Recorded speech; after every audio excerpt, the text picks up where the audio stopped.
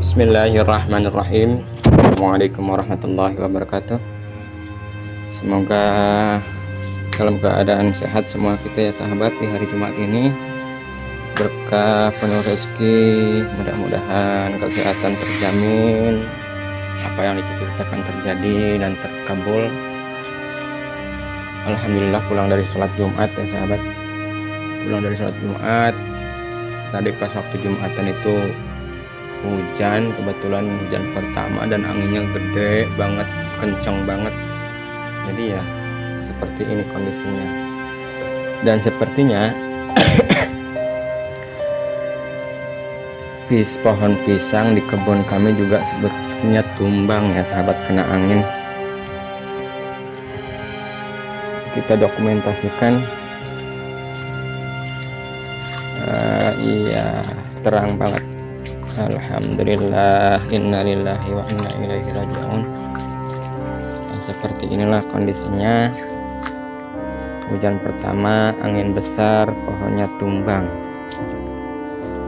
Pohon pisang tumbang. Nah akarnya ini akar ini. Jadi akarnya dia menggantung karena tidak tertancap ke bawah.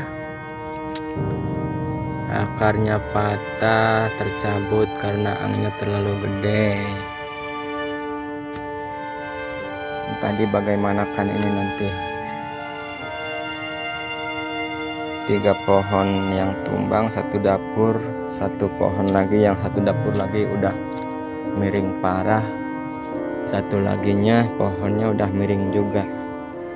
Sepertinya yang kecil boleh dipindahkan bisa tapi entah kapan.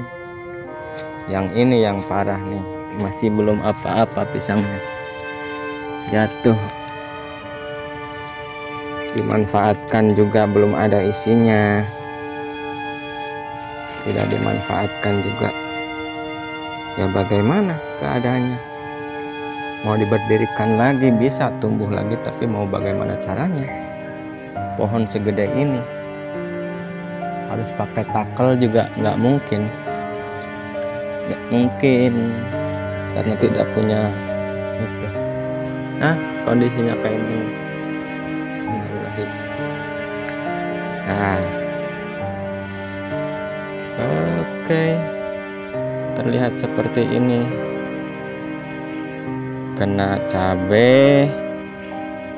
Kena pepaya. Untung pepayanya tidak kena pas di pohonnya ya. Cuma bagian bagian pelepah-pelepahnya aja. Pohonnya nggak kena. Ah, Alhamdulillah. Oke. okay.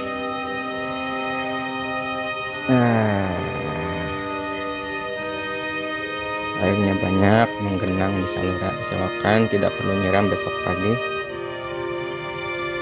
Dan ini pada putus talinya. Saking kencengnya angin talinya pakai tali rafia tidak kuat. Hmm. Oke demikian.